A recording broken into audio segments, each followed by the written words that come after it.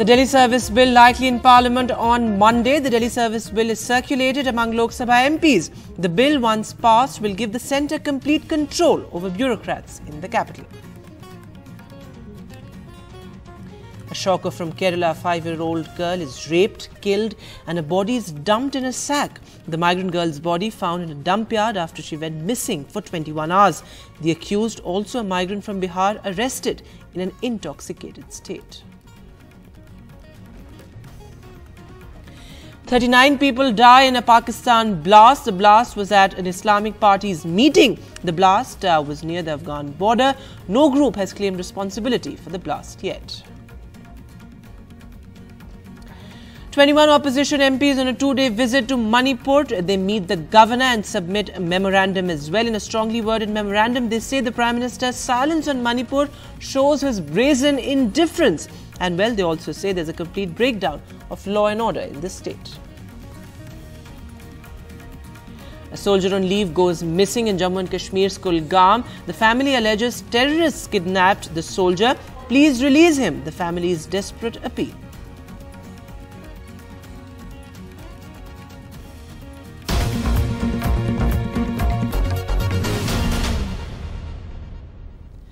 Our top story, well, the contentious bill to replace the Delhi Ordinance will be tabled in the Parliament on Monday. Well, the bill has already been circulated among Lok Sabha MPs. The bill has a major flashpoint now between the centre and the opposition alliance. Well, this, as uh, the bill, when passed, will give complete control over services and civil servants in Delhi to the centre. The big question is whether the government will be able to get the bill passed in Rajya Sabha, where uh, the centre does not have majority, but numbers are stacked up in their favour after Jagan Mohan's YSR Congress extended its support to the government. So all eyes now on how this bill will play out once it's tabled. But what is its significance in terms of how the centre plans to introduce this? Well, Akhilesh has the details. So this bill has been circulated among the Lok Sabha MPs and this bill is likely to be tabled by the Home Minister tomorrow in the Lok Sabha.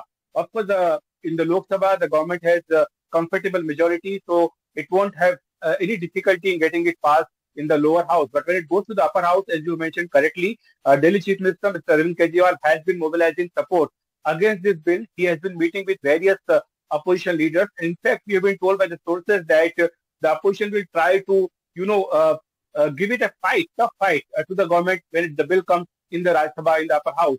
And we have been told by the sources that some ambulances have been arranged to get the members who are not well uh, for example, former Prime Minister Dr. Manmohan Singh, uh, he's not keeping well, but he will be brought uh, to the House.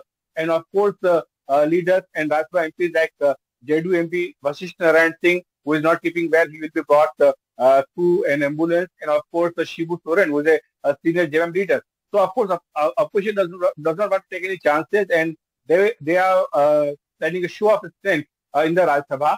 Of course, we know that uh, the opposition has been protesting. Uh, they are not allowing the House to function. But when the when this bill comes, they have decided to uh, pause the uh, protest and they will get uh, this bill to be discussed and also get voted. So that there will be clear-cut demarcation who is standing where. Of course, the government will have no difficulty in upper house also because the YSR Congress party has decided to support uh, this crucial bill. So with the YSR CP support, the, the government will have more than 122 MPs uh, support supporting this bill, which is more than the halfway mark. So there won't be any problem. So the key features remains the same as per the, it is identical to the ordinance which was issued on the uh, May 19th. And uh, once this bill is passed, this will repeal uh, the ordinance and this, this will replace uh, the ordinance and this will become the law uh, for uh, transfer, posting and other vigilance matters regarding Delhi office. And well, after a week of uh, logjam, the Parliament will convene again on Monday. The five key bills that have been listed include the, the Biological Diversity Amendment Bill, the Forest Conservation Amendment Bill, and also the Mediation Bill 2021. The Press and Registration of Periodicals Bill is also included. The Advocates Bill is also among them. Well, the Biological Diversity Bill is among the most crucial bill in the bills tabled. And well, in other news, at least 39 people were killed and dozens more wounded by a bomb blast uh, at a political gathering of a radical Islamic party in northwest Pakistan, as per officials.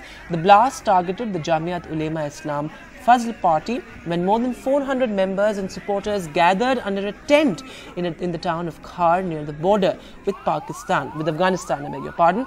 Well, images from the blast site circulating on social media showed bodies strewn around the scene and volunteers helping blood soaked victims to ambulances. So far, no group has claimed responsibility for the attack, but the Taliban has attacked the party previously, particularly in this particular area.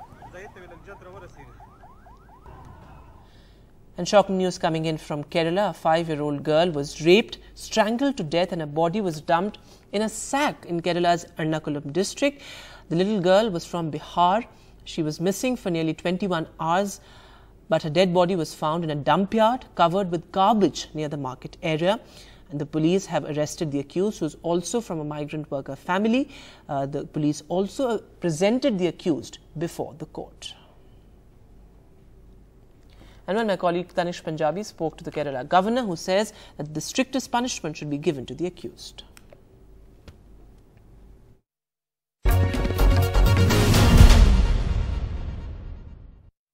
Very unfortunate, and I do not know what to say because this is absolutely unacceptable, not just in Kerala, anywhere in the country. And uh, I think the, basically the duty is to ensure that they are not, they don't deserve to be called human beings and treated like that. They are, they are like beasts.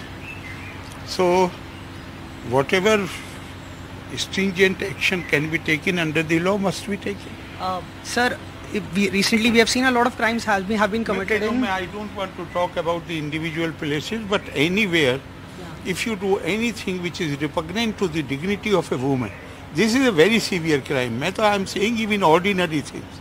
If you do which is repugnant to the dignity of a woman, then it is a shameful thing. Makkale Mapu, dear daughter, so sorry. This is what the Kerala police posted on social media after they found the body of a 5-year-old child 20 hours after she went missing. The girl was brutally raped and strangled to death. Police started searching for the child after a missing report was filed on Friday night. CCTV footage revealed that she was abducted in the afternoon by a neighbor. The accused was apprehended within hours, but he was reportedly too intoxicated to answer questions. After seeing a Facebook post by the Kerala police on the missing girl, a man had approached them saying that he had seen the accused with the child near Aluva market and had got suspicious and even asked him who the child was and the accused had told him that it is his daughter. That is how the police started searching the Aluva market area. The police searched a dump yard behind Aluva market in Ernakulam where her mutilated body was found in a sack hidden by garbage on polythene. Upon investigation, there was one person whom the family approached. Uh, he's a chicken shop owner and uh, in his CCTV footage we could see the uh, uh Ashfaq uh, traveling along with the girl. So from that time we were able to identify that this might be the guy and that is how we identified him and we picked up uh, picked him up from uh, Aluva in the night. Both the accused and the family of the girl are from Bihar. The accused had just taken up accommodation on the first floor of the house where the girl lived. The opposition has accused the police of not acting in time to save the child.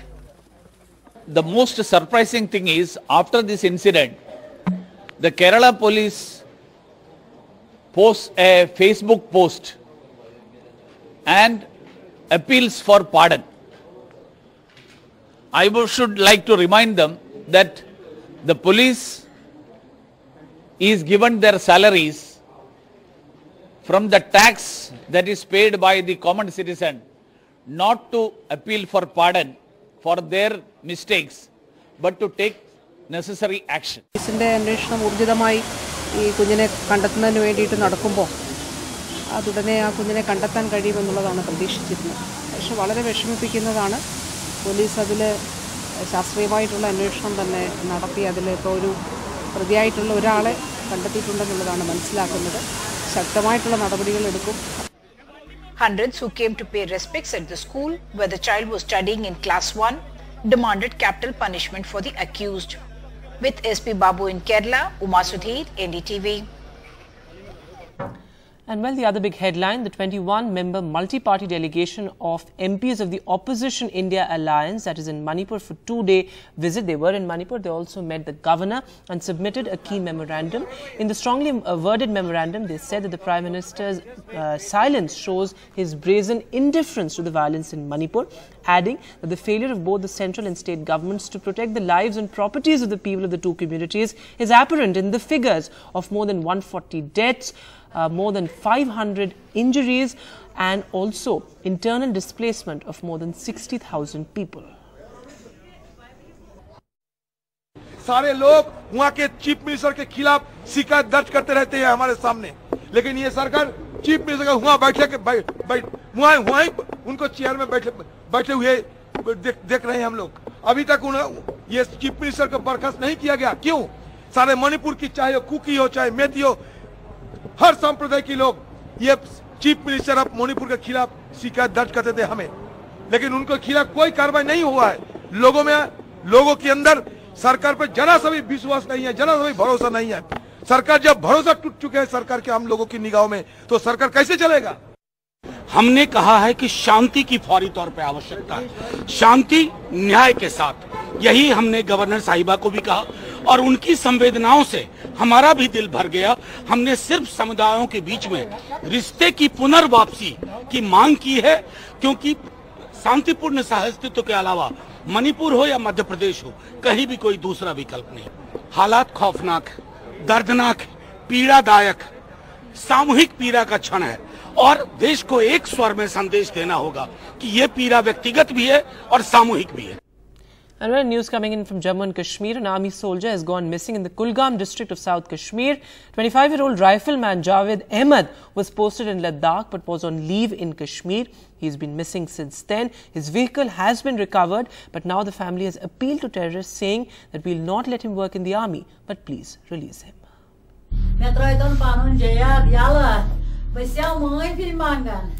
Fearing the worst, this family of a missing soldier in Jammu and Kashmir's Kulgam district does not know who to go to for help. A search operation is on for rifleman Javed Ahmed Wani, who has been missing since Saturday night. And his family believes he has been kidnapped by terrorists. They're so desperate, they're now appealing to the terrorists. मे गई तव माफ़ी त्रा अगर नौकरी तुम बह बह total बह रखन मगर मे वापस। मे बच यह लदाख ड्यूटी फौजस मन यह ईज ब्रो ओमुत ज़ोर दह छुट्टी वह ये सुबह पत् सुबह ओमस वापस। यह गो शाम वक्त दोपन सोन अन तो बह नम चोट वोट सत वत मा लगे वत मज हसा पेस कुमतान नफर तो तमो हसा कोर किडनेप चाहे युस आ सह बहुत तम मेहरबानी हलम छुस बह तिमन दारन तम त्रन तम त्रन तमिस यल मेहरबानी मेहरबानी कर तम त्रन तमिस यल मे हज गर खानदारिन तथ सह हार्ट पेशेंट बची अगर गर पेत अस ना कह जेन सू जेन वोल तमसी कुन Javed Ahmed belongs to the Jammu and Kashmir Light Infantry Regiment posted in Ladakh. This morning his Alto car was found near the market, reportedly blood-stained. In the past, several off-duty soldiers have been kidnapped and killed by terrorists in this area. Two years ago, the body of a missing soldier, Shakir Manzoor, was found 13 months after he was kidnapped in the Shopian district. So far, there is no official confirmation who is behind the disappearance of rifleman Javed Ahmed, and it is a painful wait for the family who appeals for the safe return of their soldier son, even as the security forces have launched a massive operation to rescue him. In Srinagar, Nazir Masoodi, for NDTV. Welcome back. Let's get to some international news now. Russian forces have intercepted three Ukrainian drones over the city of Moscow, the country's defense ministry said, condemning what it called an attempted terrorist attack.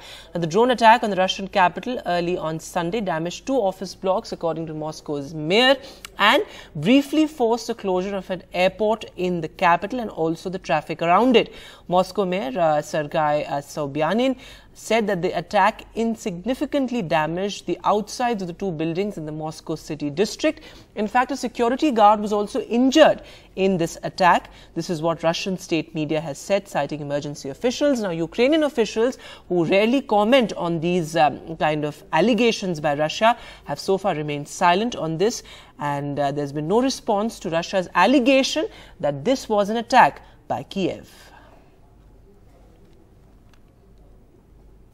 And well, it's persons of Indian origin all the way in the US presidential race. Now, an Indian origin engineer is in the fray as well. Harshvardhan Singh has made his bid for the US presidential race.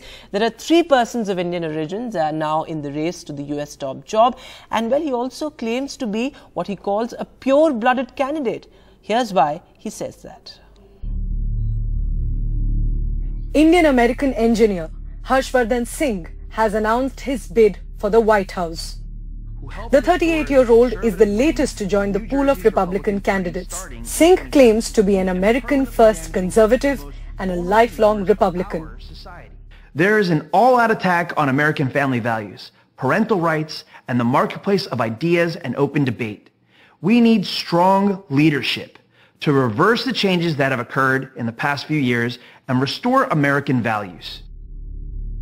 The two other Indian Americans are already in the presidential race, Nikki Haley and Vivek Ramaswamy. Haley was South Carolina's first female minority governor. She says it's time for a new generation to lead the country.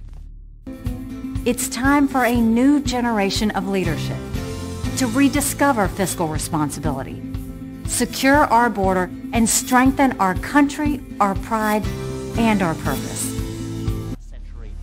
Ramaswamy is a businessman largely funding his own campaign.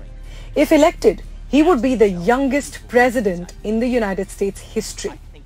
We're skating on thin ice as a country right now. I think we may be heading on our way to a national divorce. I'm running for president because I care about a national revival instead. Ten years ago, Indians were barely represented in US politics. Today, there are five Indian Americans in the Congress, around 50 in state legislatures, an Indian American vice president, and three running for the 2024 presidential race. With Chavi Mehra, Bureau Report, NDTV.